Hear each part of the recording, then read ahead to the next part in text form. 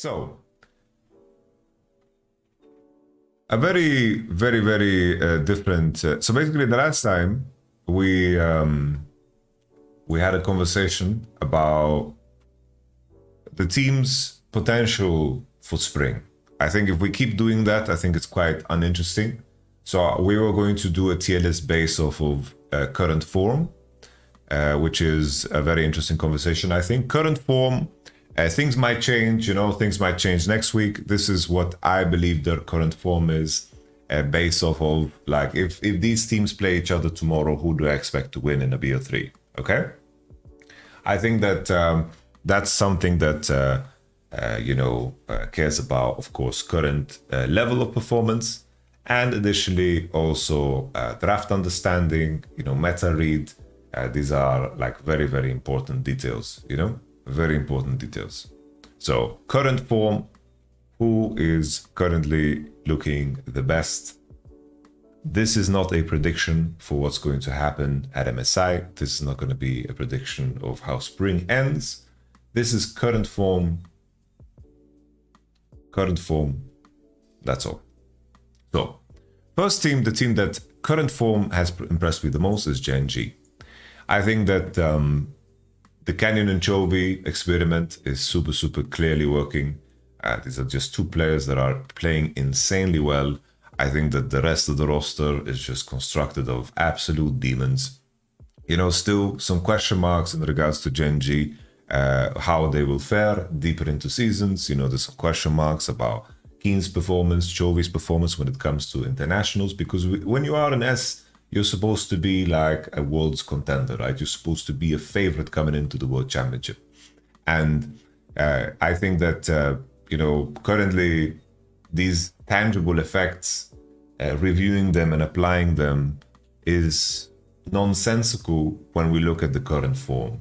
Right now, Gen G is looking like the strongest team in terms of performance. Someone that has really, really stood out to me, I feel like Peyz is like, you know, Peyz had an incredible first year. He won back to back LCK titles, but he took a little bit of a backseat uh, after some changes in the meta where where uh, there was this Aphelios Zeri uh, trend and period where where some ADs were really, really popping off. And I think Peyz took a backseat when everything shifted, right? And I think that was an issue that Gen G faced as a whole, not only Peyz, but we are looking at those small details when we are looking at a team that could potentially be a world's contender. But this time around, I feel like Peyz is really performing good. Like Peyz is even performing better than last year. And that is really, really good to see. Really good to see. I think that Gen G currently is the team with the best form. Uh, as a follow up, I would say, you know, uh, like when it came to spring potential, I definitely put T1 a lot higher than I do now. But in current form, you know, the issue with T1 is just that I don't think T1 draft wise are exciting. I think Oner's form is is not as good as it was at the World Championship, which is of course a big ask. But right now, Oner's form is not looking great. A lot of the T1 wins happen because Zeus is playing Aatrox. I don't like this whole Nami identity that T1 has taken up on. You know, like they couldn't, they lost to Gen G in a very brutal manner. I feel like the last four drafts that they made, uh, barring maybe the last one where it's like more evenish, I think that um, I think that um, you know T1 aren't there yet. You know, T1's current form, it's like T1. I'm excited for them in playoffs. I'm excited for them at MSI. I expect them to to to to find that form again because it's a team that has done very well internationally, regardless of what you want to say about the second place, uh, you know, uh, second place placements. Uh, if it wasn't T1, that record would be a lot more impressive. Okay. T1 won the World Championship. I expect them to be a lot better as, as things proceed, but currently I would put Bilibili ahead of them in terms of performance level. I think the Bilibili is the demon of, of the LPL. LPO, I think it's it's important to put LPL in, in the context of what it is. Uh, LPL as a region is a lot tougher than the LCK because the way the rosters are construed are they are filled with OTPs, there are demons in certain ways, and um, I think that um, in the end, right, when it came to like how tough the competition is in Bilibili and in LPL, LCK I think that the lower end teams play with a very high level of respect. And I think that um, the odds of an upset happening in the LCK is so unlikely. I think additionally, just because LPL has 17 teams and it's a single round robin, it makes it a lot harder to prepare for specific opponents. Not that it's harder, but it's less efficient than to focus on yourself. So Bilibili, in terms of their form, I think they have good meta read. I don't see necessarily necessarily any flaw in terms of how they draft. I think that everyone can play everything. I think that now Bilibili with Knight, they are a very complete team.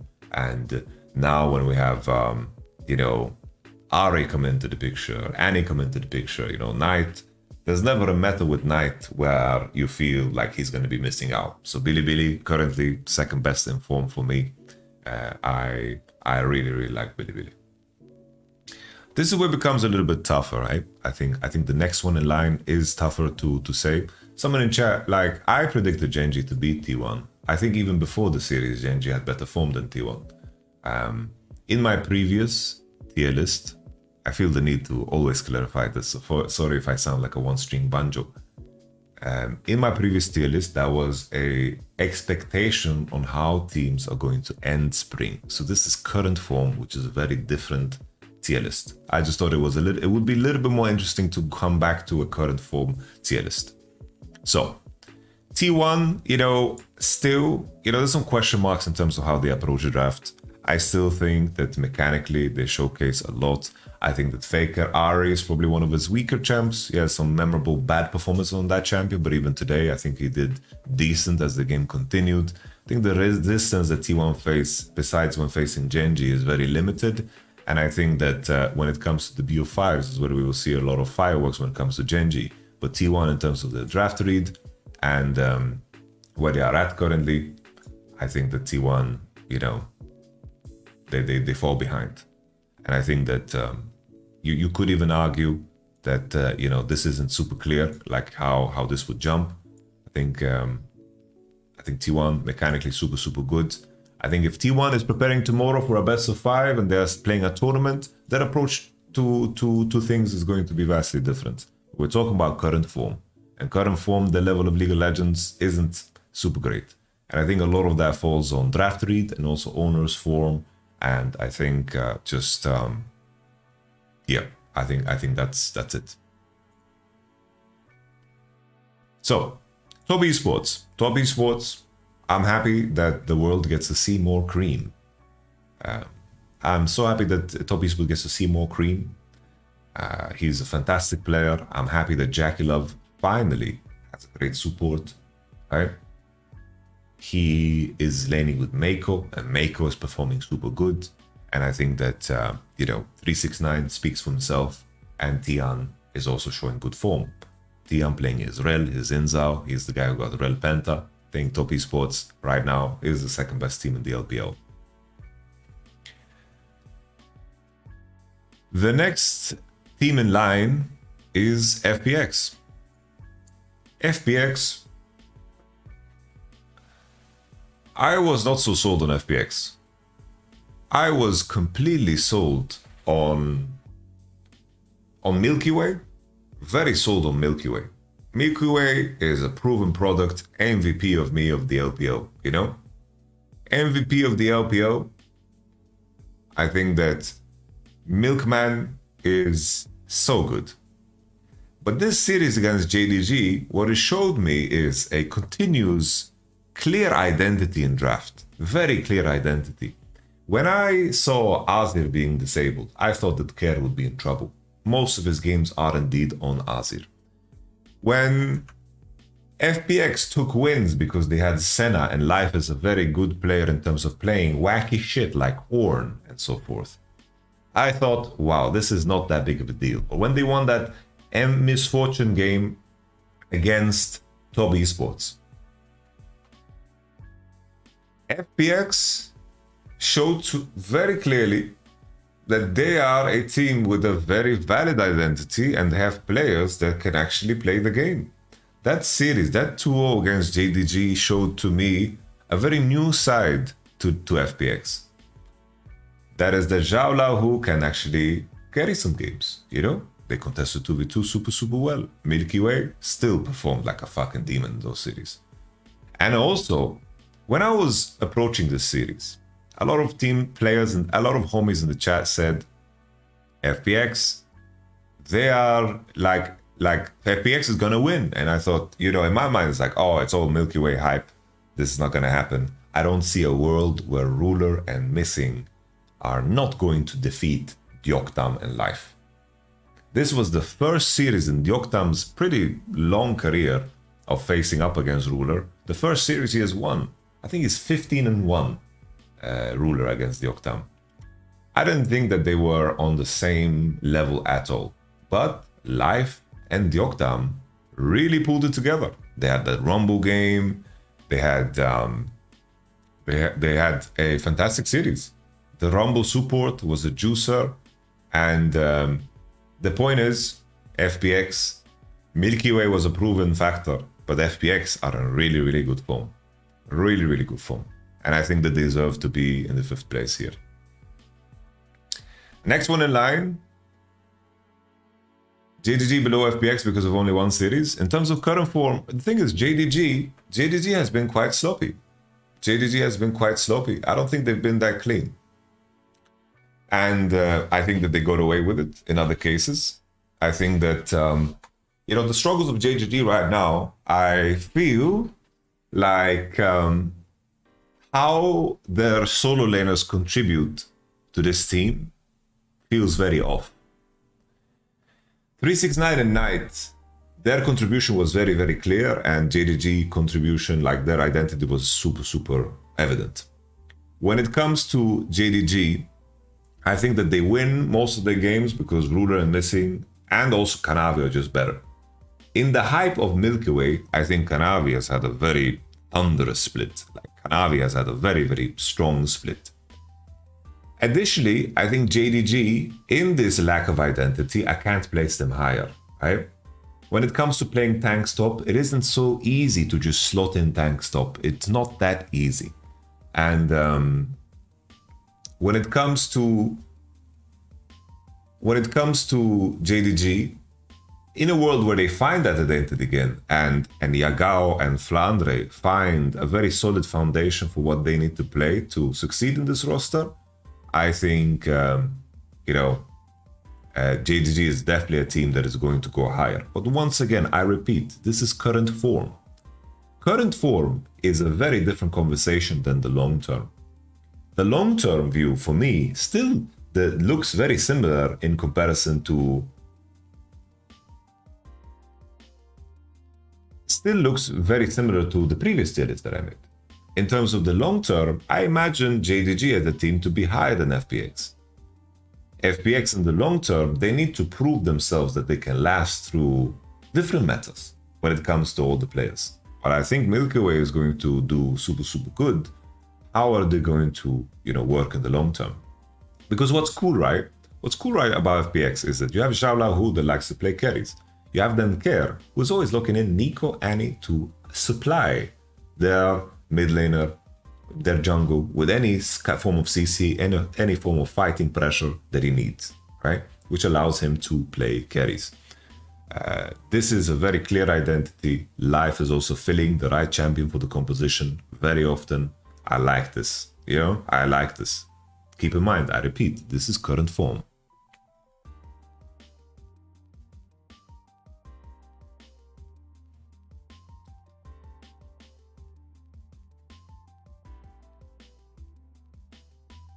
Some FPX series have definitely been rough. That's why I was not a, star, a stark believer. I was not a big believer of FPX.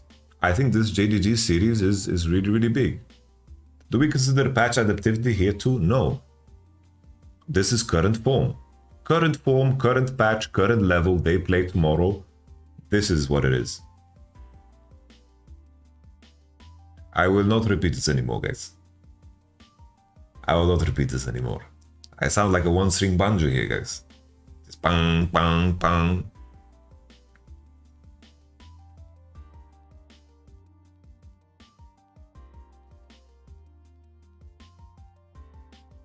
Next in line, Do you think 2024 JDG is better than 2022 JDG? Currently, no. 2022 JDG was still fucking good. All right. Next in line, we have to choose between Hanwha Life and G2. Those are those, those are the names that come. Those are the names that come up next. Plain and simple. I think Hanwha Life, I can't put G2 above Hanwha Life just yet because I don't think that their early game is a proven enough quality, right? I think that G2 macro wise do at a high level enough now to actually beat and compete the majority of LCK and LPL teams. But my main concern, right, when it comes to that comparison is how does G2 actually fare out of the early game? Their macro, their macro is super, super high level. There's a lot to learn from watching G2 games because their macro has really leveled up. Really, really, really. Just watch that game against KC. Watch the spring, uh, winter game also against KC. They are really, really good macro wise. And DK today they almost beat T1 DK does not belong in my top 10. I'm sorry, but they don't. I think that Hanwha Life though, I think that they have strong enough individual players to actually, you know, beat out G2 and make the position just unplayable for G2. That's my main concern. Because keep in mind, like if you if you think about the Hanwha Life roster, okay, you have Doran, you have Peanut, Zeka, and of course, Viper, the Light.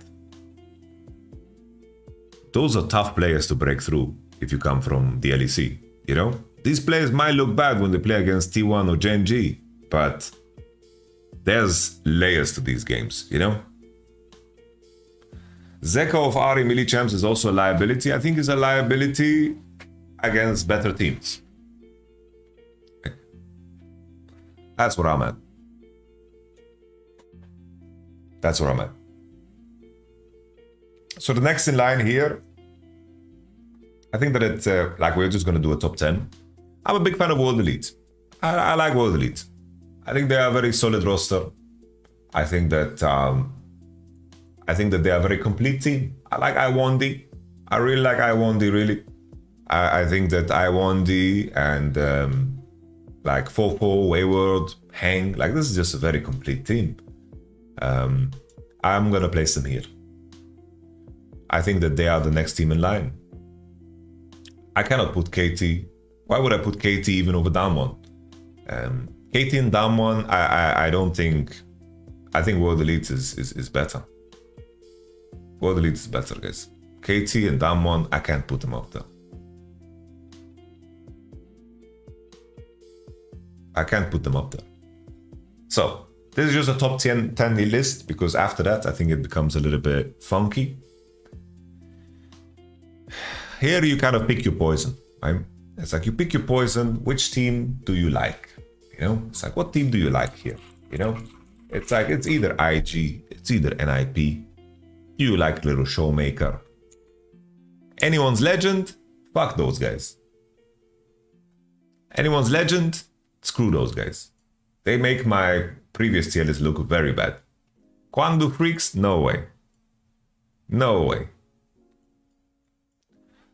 These teams don't belong. It's like it's either it's between IG and Damwon really. That's that's that's what it's between, in my opinion. I think that it's it's between these two. I like Leon.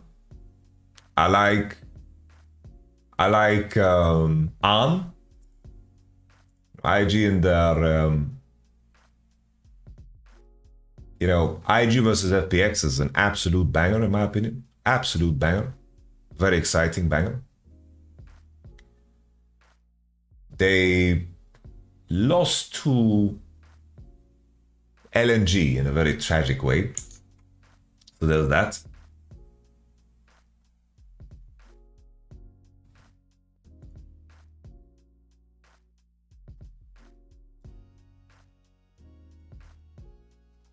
Here is just a pick your poison type of thing. Because these teams are both flawed. Both very flawed.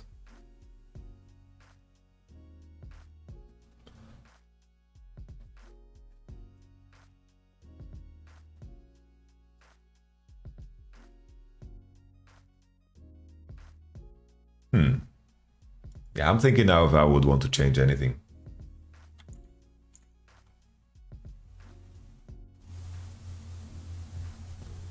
I'm thinking if I would change anything, nothing really stands out to me.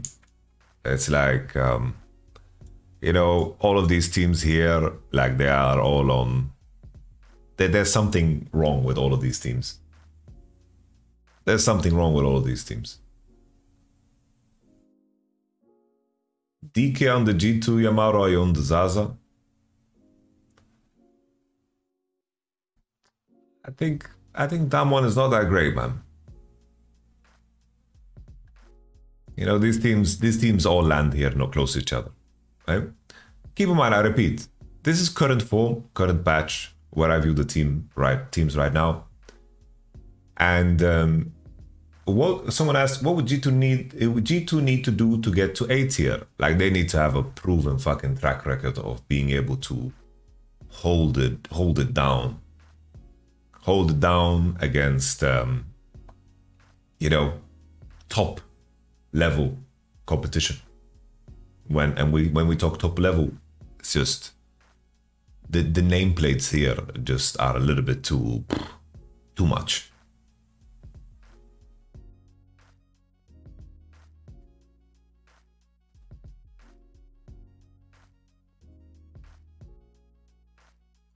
I think World Elite is a very complete team. I repeat as well, like here, the difference between these two teams is very small. Very small. Like that's why they're on the same tier, right? Hanwha Life could beat G2. Of course they could. I'm not saying G2, like I'm not saying, I'm not saying uh, that uh, G2 won 10 out of 10 games are going to beat World Elite. No, no, no. That's not what this is. Right?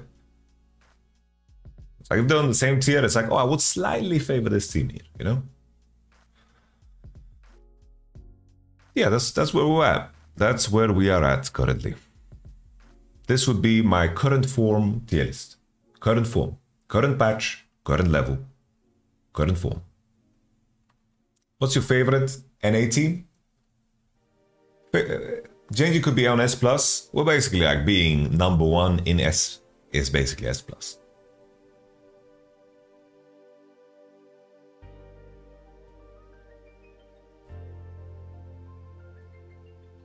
It doesn't matter if G2 goes undefeated in spring, as long as they don't prove themselves internationally, they can't get to A.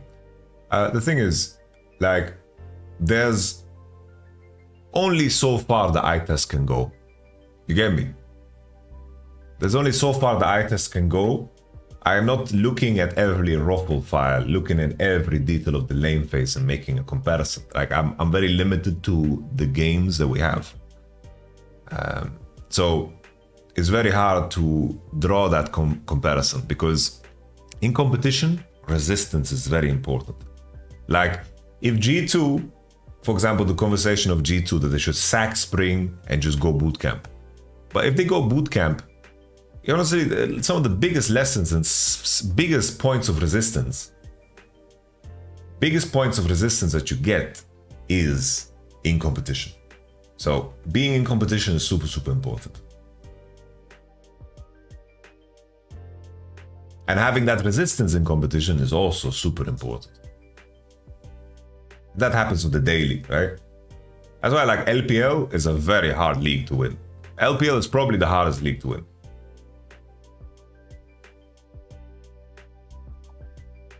LCK is between T1 and Gen G every time, right?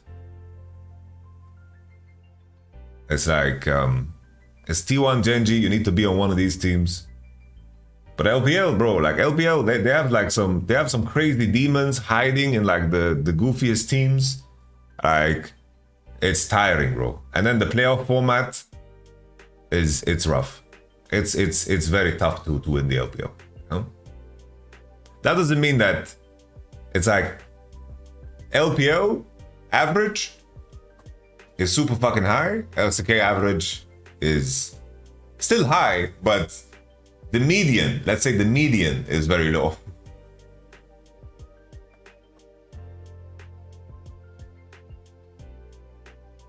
Okay. How about we do an LEC one too? You want to do an LEC one too?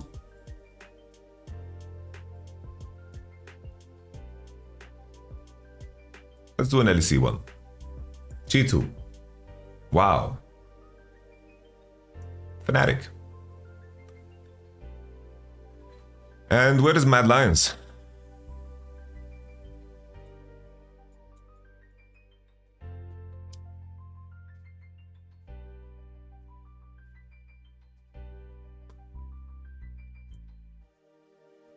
Where's Rogue? I don't see Rogue. Where's Rogue?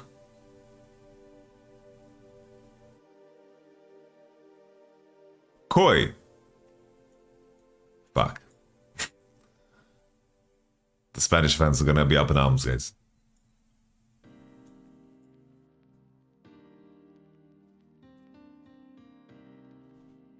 Where's KC? There's no KC here. Let me find the, the tier list, the different tier list maker.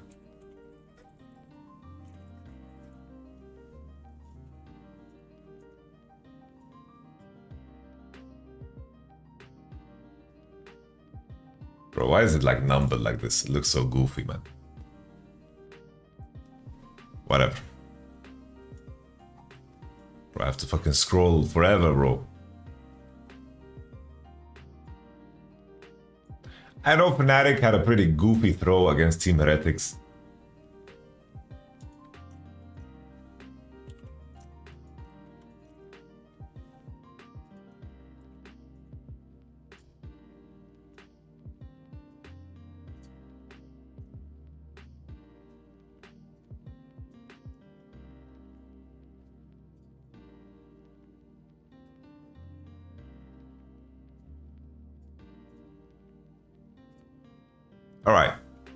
So putting Rogue here.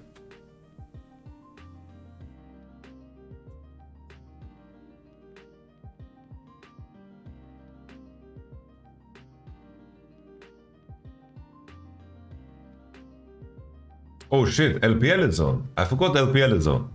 All right, let's wrap this up, do a quick AMA, and then go to LPL, guys.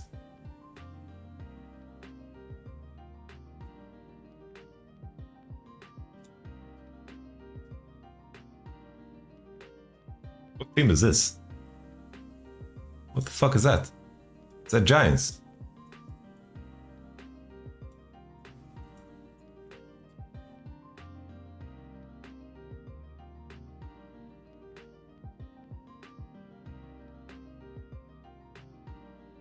Yeah, it would look something like this, I think.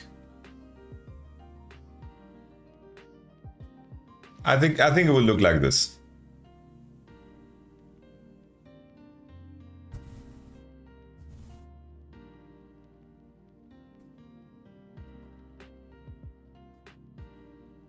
Yeah.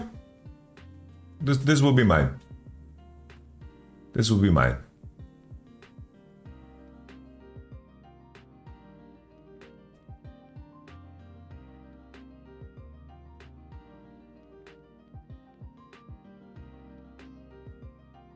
You.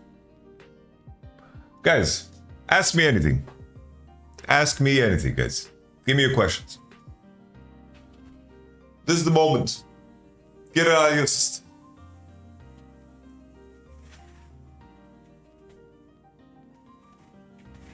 Best logo tier list.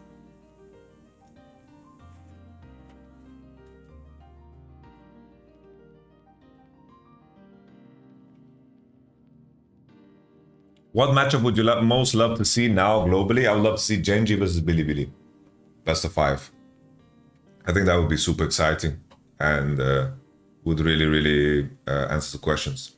Why do you think Mad Lions is so good? I think that Alvaro and Eloy are just a very, very powerful engine. Really, really, really, really powerful engine.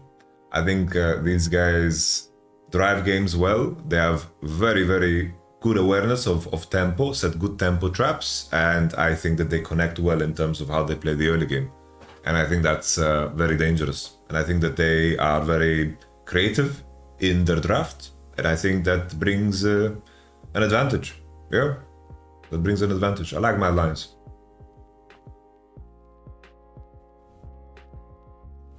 I think a bit of both.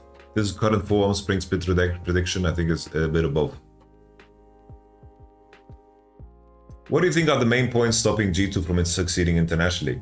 So, basically, it's very important to understand that the world's format, like you can have a bad day and it can ruin your world championship, right? It's like NRG really performed out of their mind and G2 performed quite poorly on the same day. That's a part of competition, right? A big part of competition is to make sure that your floor is as high as possible, not only your ceiling, right? And at that moment, two things coincided because there's a lot at play when it comes to five playing against five performing on the same day, right? That's a big part of competition, knowing how to perform at all times. And on that day, two things met uh, overperforming NRG and an underperforming G2. And that's a part of competition. We've seen great teams falter, right? We've seen great teams at previous World Championships falter and, and drop and not figure out a way to play it. Because a lot of people isolate that NRG series, but the wins that G2 got against Damwon and also against Weibo were quite fraudulent wins. Those were best of one wins that are very tough to replicate. Very tough to replicate. Because Kellen gave away that series. Weibo were 10k gold ahead, you guys remember. And additionally, additionally, Caps was playing Orianna. He had to do magic to win. So in my mind, G2 had a poor performance at the tournament, poor form at that tournament. When it comes to MSI, we can't expect, guys, we can't expect a European team or a North American team to do well at a tournament like MSI. Why? Because LPL and LCK are sending their top two teams it's going to be T1, Gen.G, Bilibili, Top Esports as an example. Maybe LPL changes, maybe. That shit, it's like doing well at MSI is a non-factor. So basically, Worlds is where it's at. Worlds is where it's at. You need a little bit of luck, a little bit of a drawing. But I like that G2, you know, G2 is on a good path, man. G2 is on a good path macro wise, really guys, G2 macro is T it's it's like it's so inspired by T1 macro. Really, man. The way they take vision around mid, the jungle and support, how they play to spot people and play very disjointed, but at the same time they're pursuing the same thing. G2's macro is really, really high tier, man. Really high tier. And that makes me excited because G2 last year were dominating because they had this fist and they did everything they could to fit it into anyone's mouth.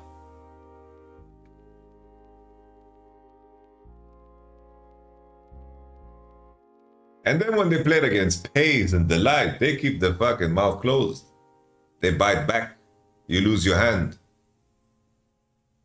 Because you remember, right? G2, Draven, Kalista, Heimerdinger, fucking break your turret, dive your turret, 10k gold lead, boom. What happened at MSI? shit. These guys don't die. They don't die. You get me?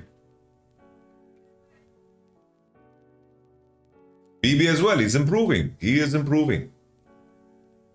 He is improving.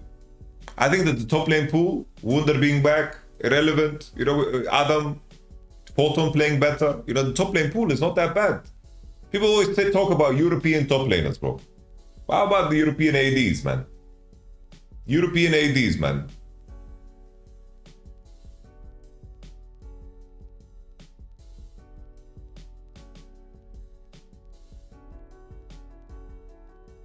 Anyhow, next question, please.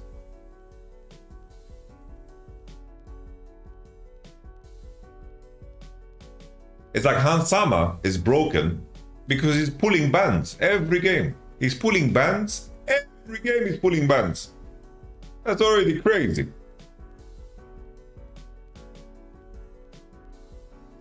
If you had to construct a team of players you have previously coached to fight alien invaders in BO5, who would you pick?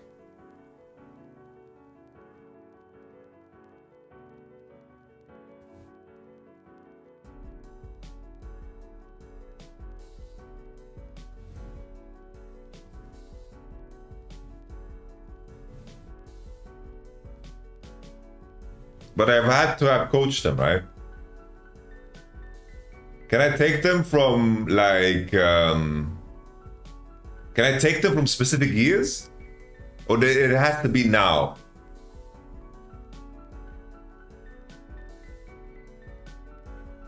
Like it has to be it has to be now. So basically can I take like a 2019 Wunder? Can I take that? Or does it have to be current Wunder? All right.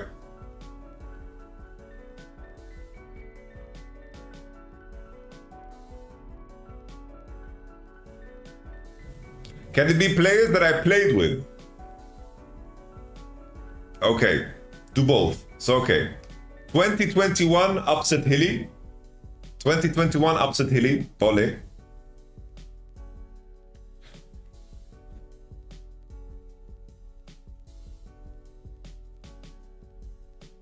2019 Wunder.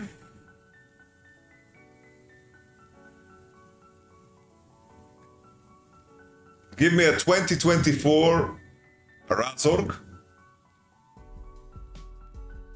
Mid lane, mid lane, mid lane. So mid lane I have like Humanoid, I have Nisqy, I have Jiizuke, I have Nukeduck.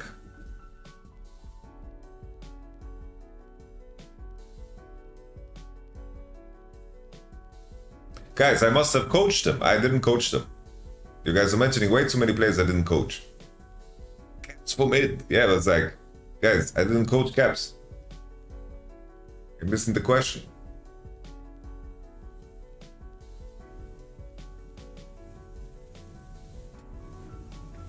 I will take a 2021 2021 humanoid.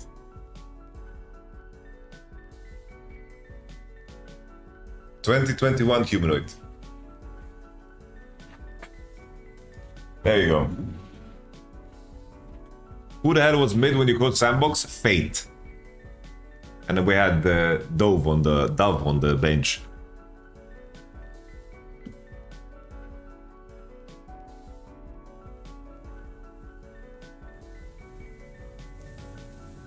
He didn't say Keiko plays, guys. Bro, I, I put upset there.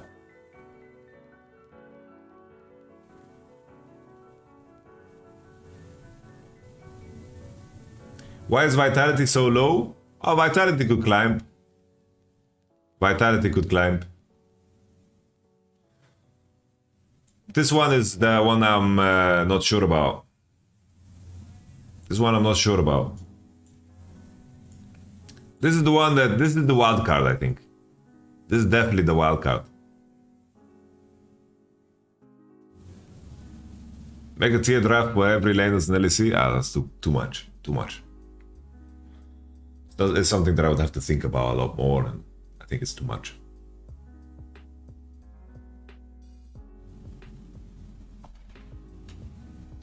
What eight teams are going to MSI? G2. I think it's when it comes to Europe, you have to look at the points, right? Like Mad Lions might just qualify when they get third place. Like let's say I don't know if I don't know if Mad Lions qualify by getting third place when Fnatic gets second place. I don't know if that qualifies them because G2 is going for sure. But then the second team, we don't expect anyone else to win Spring, and Mad Lions has points. So Mad Lions might qualify off of points. But I, I, I don't know the exact point system. So maybe Mad, maybe Fnatic getting getting uh, fourth, maybe Fnatic getting fourth and second beats Mad Lions getting second and third. Maybe. Maybe, maybe, maybe.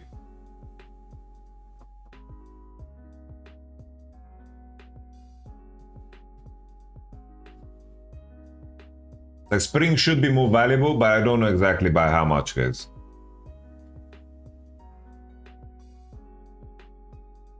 Spring is 1.5x points. Okay, then then probably it's safe.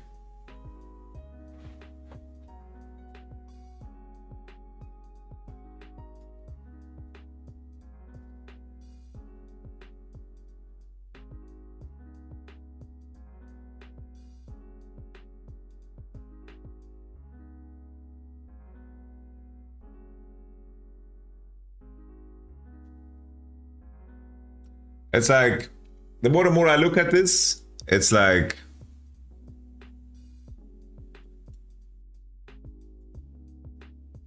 like all of these teams are kind of lumped together.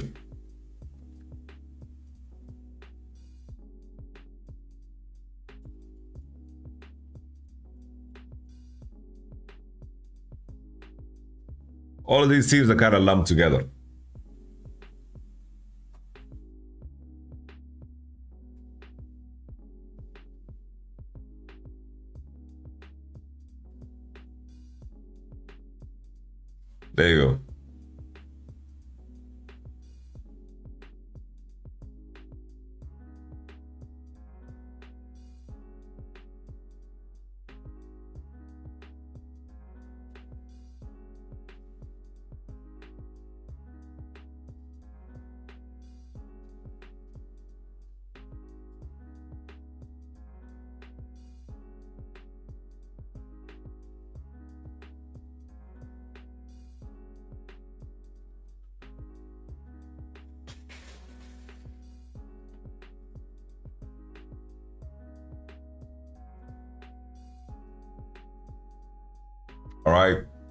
Ladies and gentlemen, I think we're gonna head back to LPL watching.